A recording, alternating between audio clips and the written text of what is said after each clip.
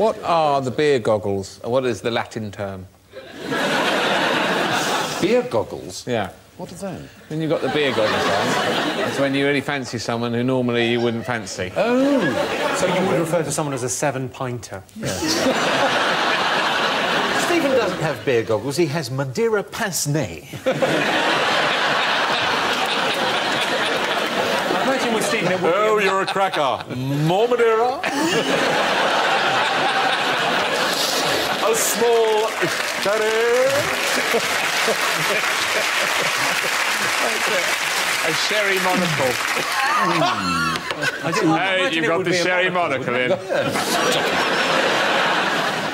Rot as my head.